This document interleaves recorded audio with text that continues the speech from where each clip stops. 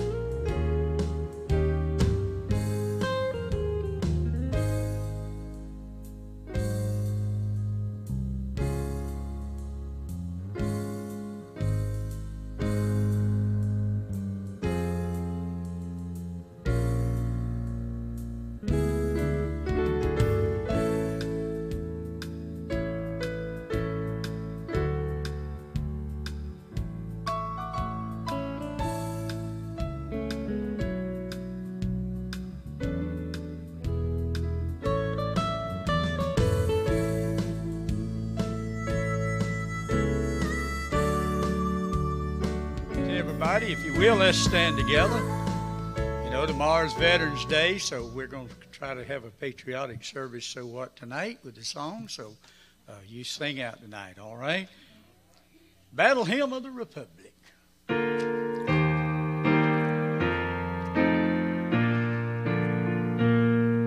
Mine eyes have seen the glory of the coming of the Lord. He is trampling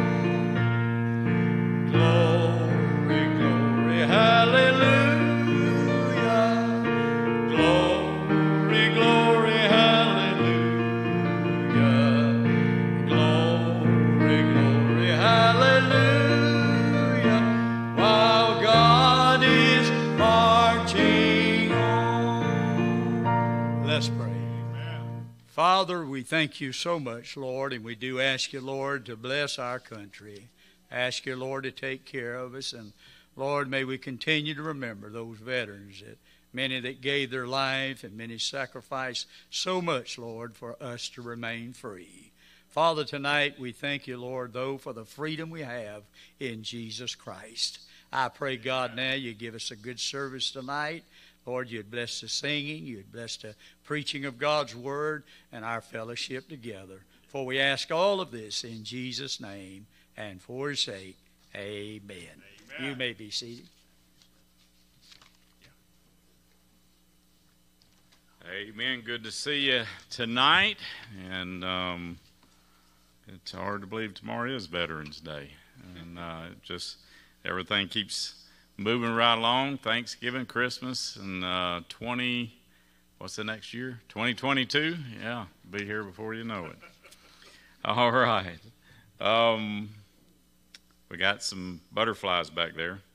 Um, if you still want to use some of those, uh, to go in the boxes. Remember, they've got to be here by this Sunday. I know a lot of them's already out there, and folks already took care of that, and we appreciate it. And uh, Miss Earline will get them and send them off. Don't forget Sunday night, uh, the Warrens are going to be with us. Looking forward to them being with us uh, Sunday night in our evening service. Um, let's see, we've got a missionary letter from Brother Reitman and uh, the uh, Havoth Messiah Ministries. And um, most of all of you know Brother Reitman. He says October was another very busy month, from Illinois to Georgia to Minnesota to New Mexico to Colorado. Many times people come to me overwhelmed, uh, having learned things they never had before considered. One by one, these very faithful believers are being challenged to learn how to be an effective witness to the Jewish people they come in contact with. Uh, this is what keeps us schlepping. I can hear him saying it. He's, schlepping across the country preaching. My greatest desire is to transfer the burden of my heart to your hearts. The task is greater than we are. We cannot possibly be everywhere at once. Therefore, the more we see the Lord capturing the hearts of pastors and church members for the task, the greater potential my people will have of receiving a credible gospel witness. Our track outreach continues to move forward. As you know, we have sent our track to every Jewish family in the Metroplex um, and are now sending it to Jewish homes in Houston.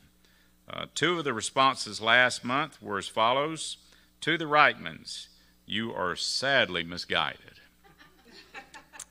the next one says, Please remove me from your mailing list. I died 20 years ago.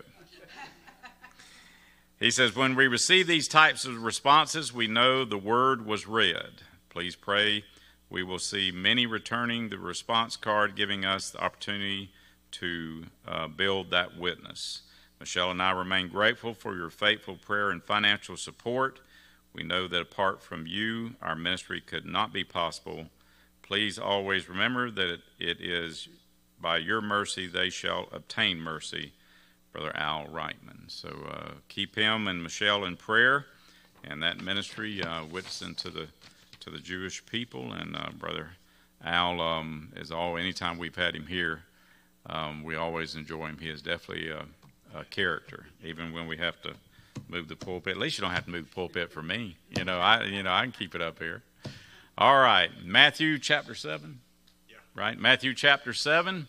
If you'll take your Bibles and turn there, and we'll take up Wednesday night offering. Lord, we thank you again for letting us be in your house tonight. We ask you, Lord, to again bless your word. Bless the offering as we receive it. And Lord, just pray that you'd uh, help us to use it wisely. And uh, Lord, may honor you above everything. In Jesus' name, amen.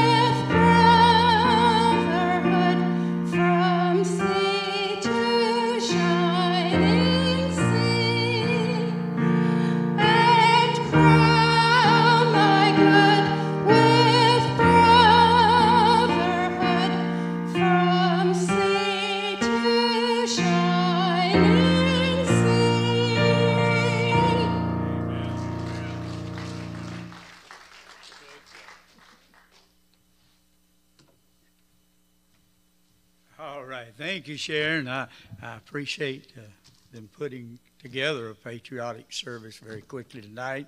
Preacher said his sermon now is going to be Sunday, but uh, they put something together tonight. And the hardest songs in the world to sing is Christmas songs and patriotic songs. Amen. But let's stand together, if you will, and we're going to sing an old song, "My Country, Tis Thee."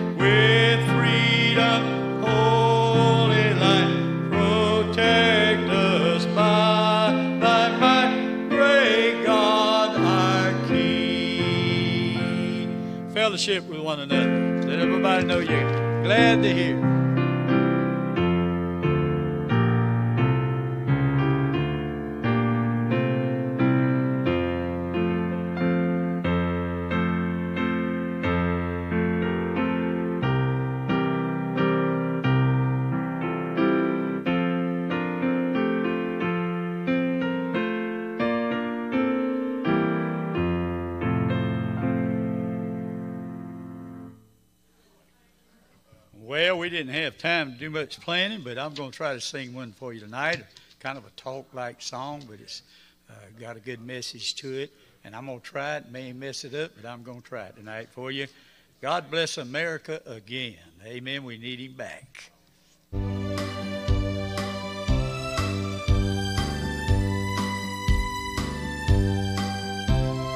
God bless America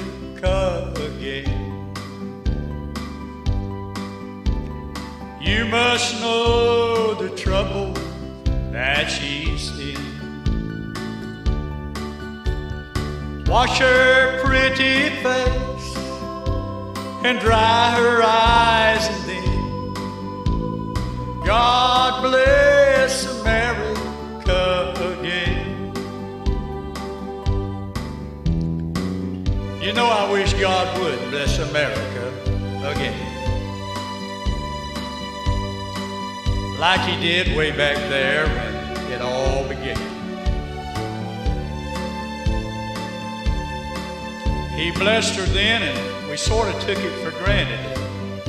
We didn't ask again. So let's just hold her hand. Now that's all. In case she stumbles, let's don't let her fall. God bless America. You must know the trouble that she's in. Oh, wash her pretty face and dry her eyes, and then God bless America again. I don't understand everything that I read and what I hear about what's wrong with America. But when you don't know a whole lot of book learning, and there's many things that I don't understand. But I know this much. She's like a mother to me, and I love her with all my heart. And let me tell you this, folks everything I am and ever hope to be, I owe to God and her. God bless America again. You must know the trouble that she's in. Oh, wash her pretty face and dry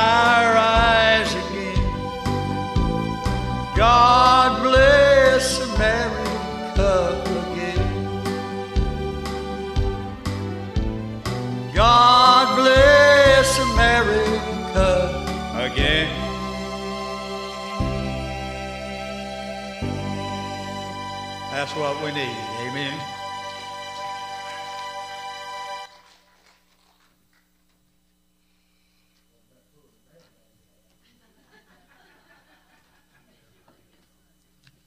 That's that's an old trick. They done got a new one now. You you pull the head out of the rabbit.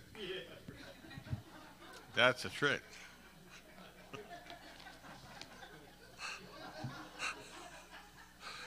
All right. Well, amen. Amen. Well, seems like I've been here today once before. I do want to thank everybody that was able to make the services for Brother Stanley. Uh, we were kind of uh, determined not to make it a funeral, more or less, but a celebration for a life and a job well done. Matthew chapter 7 is where we're going to start. And we're going to read verse 15 through 20.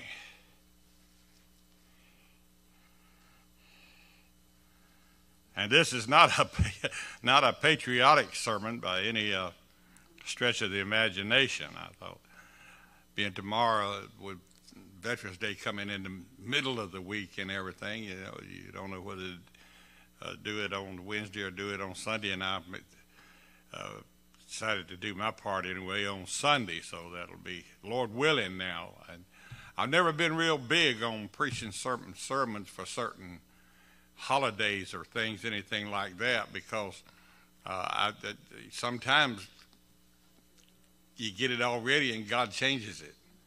And it's really aggravating when he does that. but, but, uh, so, did what?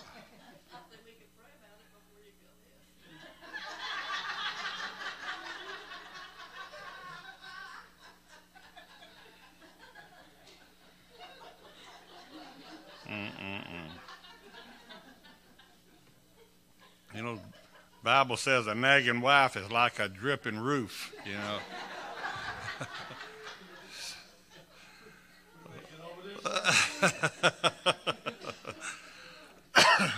well, let's see if we can get through this. Chapter, verse 15. Beware of false prophets, which come to you in sheep's clothing but inwardly they are ravening wolves. The word ravening means hungry. You shall know them by their fruits. Do men gather grapes of thorns or figs of thistle? Even so, every good tree bringeth forth good fruit, but a corrupt tree bringeth forth evil fruit. A good tree cannot bring forth evil fruit, neither can a corrupt tree bring forth good fruit. Every tree that bringeth not forth good fruit is hewn down and cast into the fire. Wherefore, by their fruits ye shall know them. How many of you have ever read or heard of the story of Little Red Riding Hood? Uh, Little Red Riding Hood. Well, of course, it's a good children's story, but in reality, it really has some good truths uh, contained in it if you look at it with from that slant. Uh, especially at the end of the story where the wolf that's all dressed up in Granny's robe and Granny's cap tried to eat Little Red Riding Hood. And uh, he said, I just can't help it. I'm a wolf. I just can't help it. Wolves are natural predators. And the wolf's goal is to devour whatever it possibly can, whether it's pigs in straw houses or whether it's little girls in red clothing. It makes no difference to him. Now, if the wolf is at your door, then you ought to understand that's bad news. That's bad news, you see. No one is going to see a snarling wolf at the door and think, oh, what a cute little puppy. I think I'll play with him for a while. But the truth is, the most dangerous wolf would be the wolf that tries to disguise himself. See? And Scripture has a lot to say, really, about wolves, and none of it's ever good. I guess, evidently, there's no good wolves. They're treacherous, they're dangerous, and uh, when they are presented in God's Word, they are always presented in a negative way. So, con- uh, consequently, uh, Jesus says here, beware. Not be aware, but beware of false prophets, which come to you in sheep's clothing, but inwardly they are ravening wolves. The, the word beware literally means to watch out, look out, you see. And uh, this warning takes place, uh, this scripture, it's kind of ironic, really, in one sense of the word. It, it takes place right after Jesus describes the two ways of life one that leads to eternal life, and then the other that leads to death and destruction. And it's in that context that Jesus just starts off on this beware of false prophets. So, Number one, I think that we ought to heed Jesus' warning and that we ought to watch out. We ought to look out. You see? I, am sure sometimes you've been to a ball game. I know I've been to several of them that, uh, that when a foul ball was hit and, and it come up into the stands, every, someone was going to yell out, heads up. That's what Jesus is doing. See? Now, if they yelled heads up and you weren't paying attention, there was a pretty good chance that you were going to get clocked in the head with a foul ball. And nobody, though, that says heads up, they don't say heads up. They holler it. They scream it out. Look out, heads up. The words are spoken loudly because it's a warning. And we need to take these words of Jesus seriously because it's a warning to us, my friend, because it's so easy. And I think it has seemingly to me, anyway, and maybe I'm just different, but it seems to me like the uh, uh on the road to life that it's uh, it's gotten a lot easier to get lulled into complacency. You know, there are so many things out there that demand your attention. And sometimes we're not real good at ordering these things, at lining them up and, and getting first things first and keeping first things first. And in doing this, sometimes we get confused, and then sometimes we just get complacent and lose sight of the fact that we need to be alert.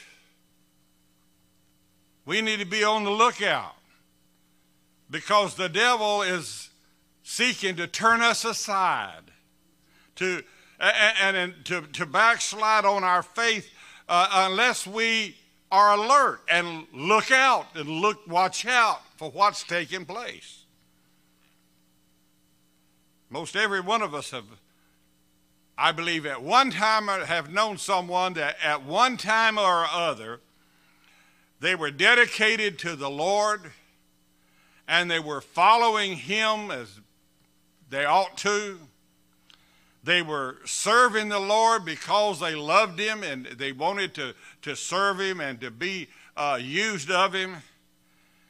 And they, they came to church and they considered the church as their uh, family extension. It was just like part of their family. They were involved in what was going on, what was taking place, and all the activities and the opportunities to do something for the Lord. But something sidetracked them. And then you look up, where are they? Where are they? See? They're they're not. They can't be found. You know anybody like that? I've known, I've known several that way over the years. That you thought they were really going to, to be useful in the kingdom of God. You thought they were really going to be, you were going to be able uh, to help them to grow and to become active and used by the, by the Lord. But something happened. Something happened. And first thing you know, they disappear. And you don't hear about them anymore. Probably most all of us know somebody, if you've been in church very long, you know somebody that fits that bill. What happened to them? What caused them to do that? There were so many things that could have possibly caused something like that to happen. Maybe they started listening to some of the TV preachers. See, some of this junk that you see on TV that is so disparaging and, and, so disappointing. I mean, it just uh, it just breaks your heart to see a, a coliseum or something filled with people, and and somebody that is, is, if you listen to them, you can tell that they're not telling the truth. You can tell that they're not telling the people the truth, you see. Or maybe they run across a disgruntled brother or sister that was not completely satisfied with what was going on at the church. And, you know, misery loves company. Or maybe they didn't get enough attention. You know, people like attention, people like to hear their names. And that's bad with some of us because I can't remember your name. but people like to hear that. But they like to be recognized, they like attention. You know, I don't know, probably 40 years ago now, probably somewhere around there, maybe 45 years ago. We had a fella in the church. He got mad at us because he wasn't called on to pray enough. And he went down and joined another church. Maybe Satan got into their life and, uh, uh, and caused them to become dissatisfied or something. But the truth of the whole matter, when it comes down, is they stopped watching. They stopped watching out. They stopped being alert. My friend, you need to realize today the devil is not your friend. You need to understand that he's not your friend. And anything he can do to get you upset, with the preaching service or the song service or the anything else service or whatever else that'll get you dissatisfied.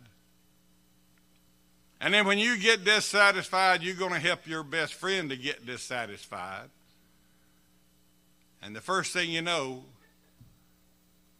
all of it out of church. Out of church. Over petty little things. Petty little things. I like that, that song that used to was going around, you know, about excuses, excuses. You hear them every day. One verse there says, he, he didn't even shake my hand. Well, you know, maybe he didn't see you. You know, people today got so much on your mind, sometimes you walk right by somebody and not see them. You know, you didn't intend to do it, but you did it.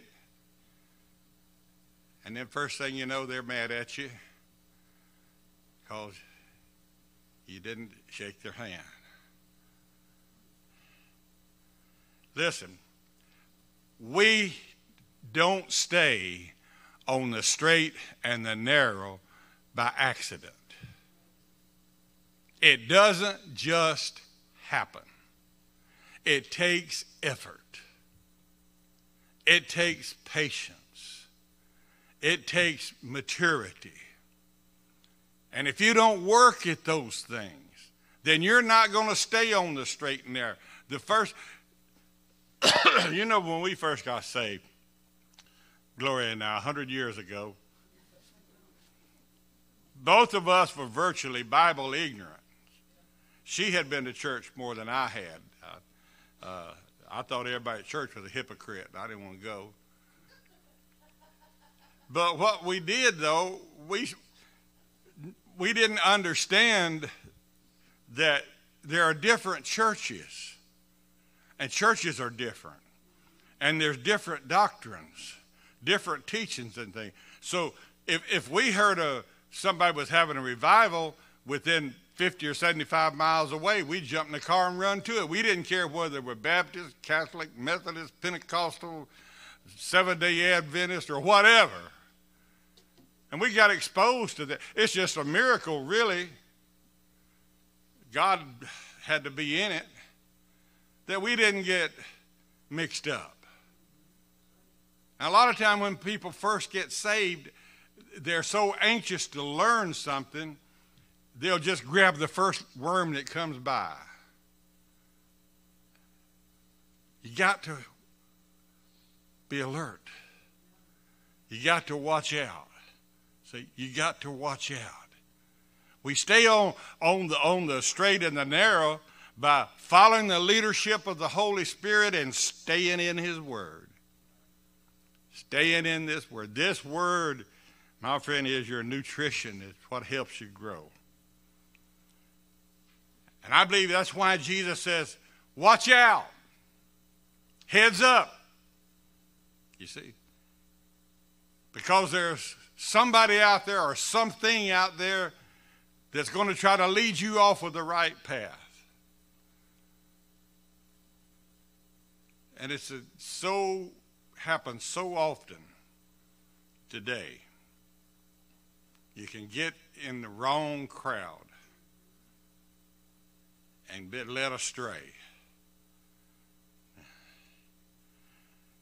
Let me ask you a question. If I should ask you, what do you think is the most important and probably the most dangerous priority of a shepherd?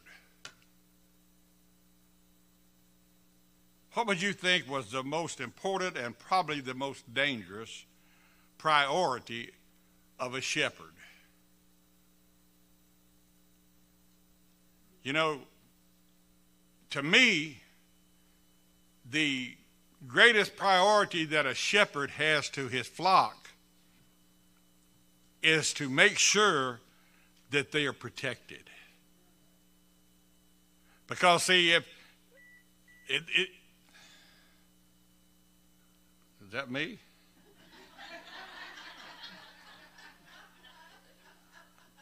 I'm not backing up. I you know, I'm. Something beeped. I don't know. Is that was that you, Miss Sandra? No, wasn't you? Uh, I thought somebody planted a bomb up here. You know.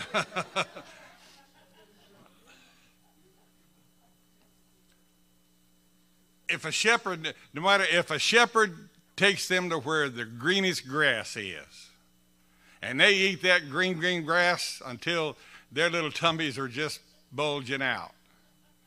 And he takes them where the coolest, sweetest water is.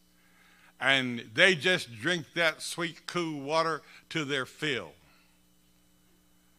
But yet, somewhere along the line there, a wolf comes in and eats him. What good was the water in the grass?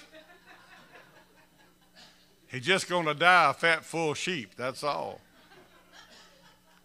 the most important thing is to protect him, take care of him, watch out for him. See? You, you know what? Do you know what a, a true shepherd does for his uh, his sheep at night?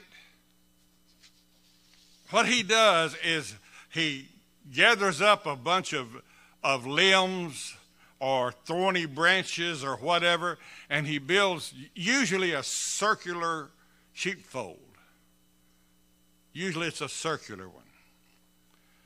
And it's enclosed on every side of it. But at one place in there, he leaves an opening for a like where the sheep can come in and go out. And then he goes, he walks into that sheepfold and he calls his sheep, and they come in there. And when they're all in, you know what he does? He goes where that opening is and lays down. He lays down there. That's where he sleeps. See? What's he doing? He's protecting those sheep. See? He's if a wolf shows up snarling and foaming at the mouth, it's his duty to stand between that wolf and those sheep. See? That's his duty. It's a dangerous duty, but that's his duty. See? That's a dangerous thing to have to do, but that's what he has to do. But Jesus gives us an even more dangerous situation. See?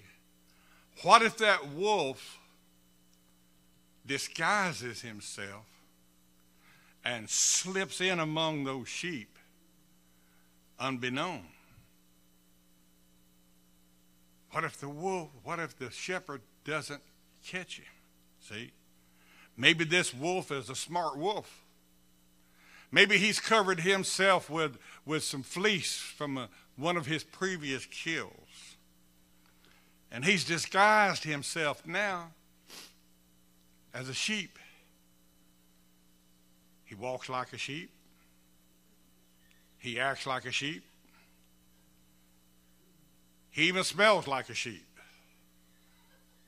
And no one suspects that he's a wolf until it's too late. And he has done devoured one of the shepherd's precious little sheep. See? That's why Jesus says, Look out. Watch out. See? That's why he warned us that way. You know, Paul knew that this would be one of the greatest dangers for a shepherd. Acts chapter 20, verse number 29 through 31. He's been in Ephesus now for three years. He's been there with those people for a long time, and so naturally he's going to love them you know. You know, uh, a shepherd learns to love his sheep. He loves them. Doesn't want anything to happen to them. And here's what he says, because he knows he's fixing to leave. For this, I, for I know this, that after my departing shall grievous wolves enter in among you, not sparing the flock. And then he says something startling in one sense of the word. He says, Also of your own selves shall men arise, out of your own sheepfold. I guess there are some rebellious sheep. See? Out of your own sheepfold, he said, shall, uh, shall men arise, speaking perverse things to draw away disciples after themselves. In other words, there's going to be people in the sheepfold, in the congregation, that are going to arise and try to get people to follow them. He says, therefore, watch. Therefore, watch. You think he got that from Jesus? Therefore, watch. And remember that by the space of three years I ceased not to warn everyone night and day with tears. See? He's warning these people be on your guard, watch out. I won't be there to protect you. Wolves are going to try to move in. And some of your own people are going to rise up and try to get people to follow them. They're going to devour the young ones. Watch. See? Turn over to 2 Peter. Chapter 2. Peter tells us virtually the same thing. Virtually the same thing. 2 Peter chapter 2. But Peter, see, kind of advises shepherds how to identify wolves among the flock. 2 Peter chapter 2, look at, start at verse 1. But there were false prophets also among the people, even as there shall be false teachers among you, who privately bring in damnable heresies, even denying the Lord that bought them, and bring upon themselves swift destruction. And many shall follow their pernicious or evil ways by reason of whom the way of truth shall be evil spoken of. And through covetousness shall they with feigned words make merchandise of you, whose judgment now of a long time lingereth not, and their damnation slumbereth not.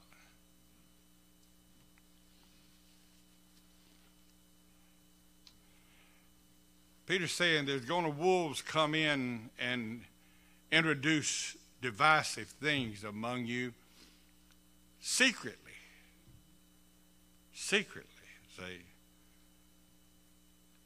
Whenever you start to examine the fruit that comes from some people's lives, especially if they are in the false prophet category, it'll always be poisonous and destructive but in the end, it's going to be deadly.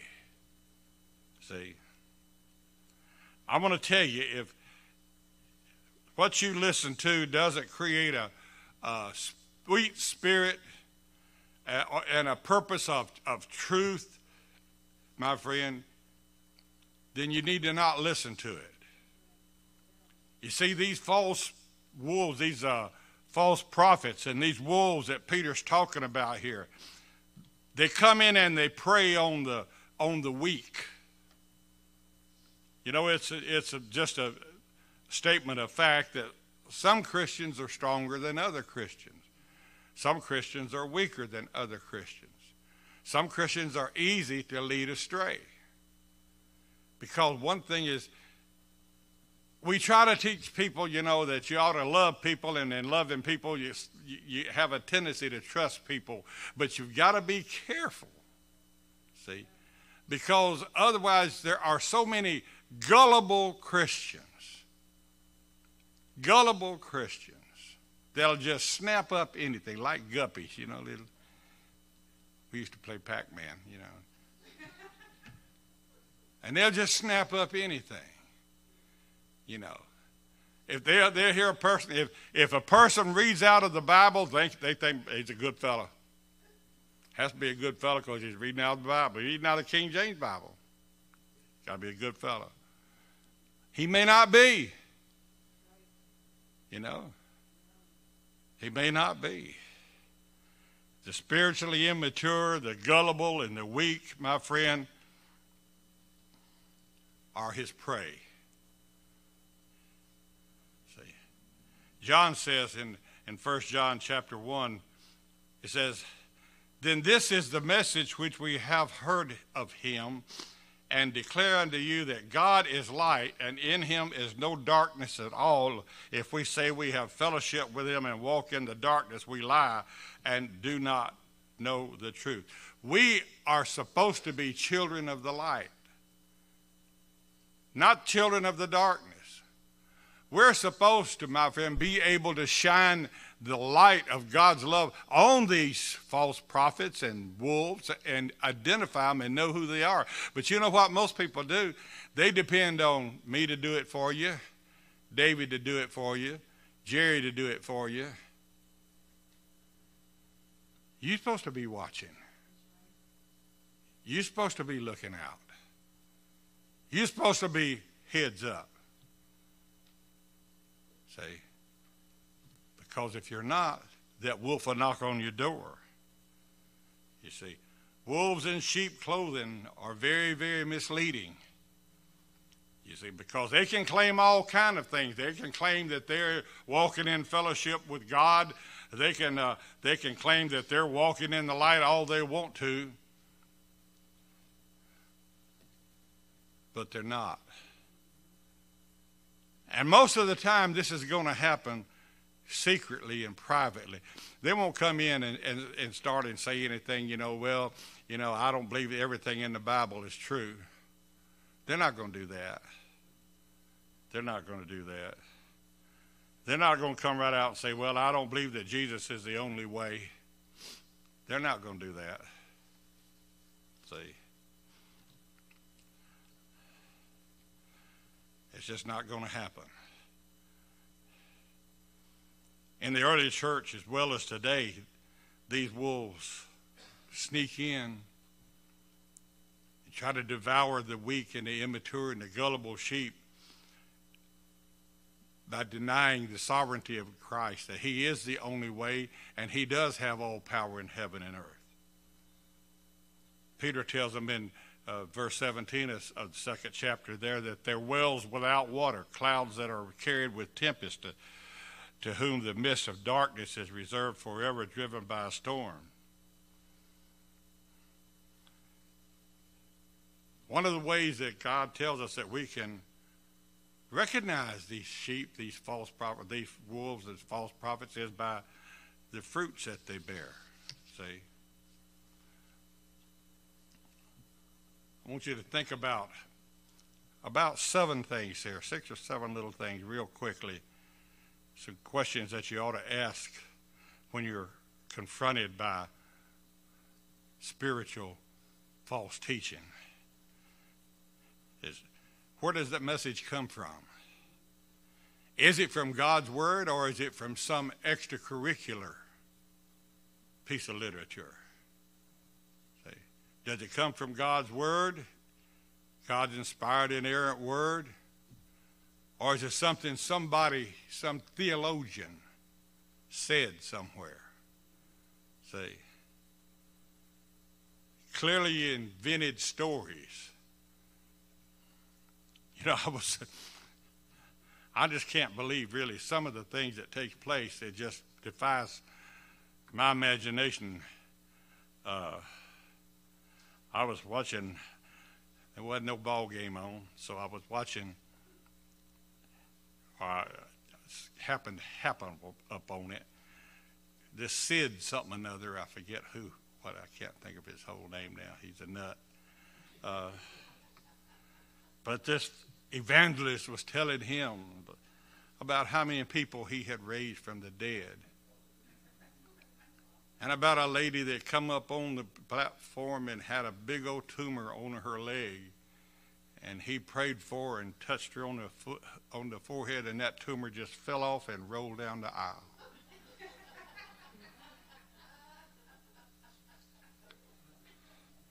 Where these people come from that believe that stuff? See, I'd like to be a traveling salesman because I could sell them anything I had. What's the substance of the message? You need to, you need to ask that. Is it, is it Christ central or is it divisive and unedifying? See? What's the message sent to, uh, supposed to do? What are we supposed to garner out of it? What are we supposed to learn by it? What is it supposed to teach us? If I listen to this message, where is it going to take me? See? Is it going to draw me closer to Christ? Or is it going to drive me away from Him and His church? What kind of disciples does this message produce? Good fruit or bad fruit? Good trees or bad trees? Bad trees or poison fruit? As you need to understand these questions and ask these questions. Where does this message ultimately going to take me? Is it going to make me more Christ-like? Am I going to be help me to grow in Jesus? Or is it going to take me to a place where one day I'm going to hear him say, Depart from me, I never knew you? See? God's message is so that we can be transformed in the image of his son. That's God's ultimate goal for us. And any teaching that doesn't do that is false teaching and comes from a teacher with ungodly motives.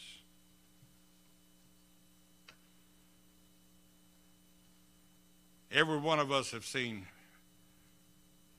preachers that promise health and wealth if you just send me a thousand dollar check as your seed of faith. You know, they're real big on this seed stuff, you know. As if they're special prophets that can deliver the promises of God as long as that thousand dollar check gets there. They,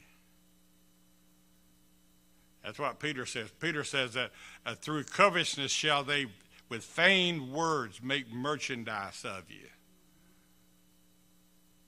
I don't know about you, but I believe there's a special place in hell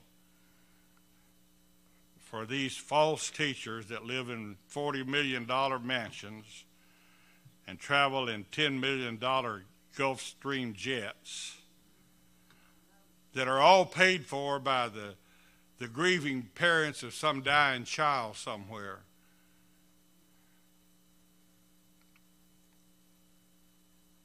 And they use Jesus as a sales pitch. See? But you know what Peter says there in the third verse there? He says this their condemnation has long been hanging over them, and their destruction has not been sleeping.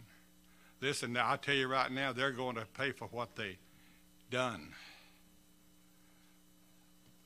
Jesus says, Watch out for those that would promise you the ability to buy God's favor. God's favor is not for sale. You can't buy it. It's just not for sale.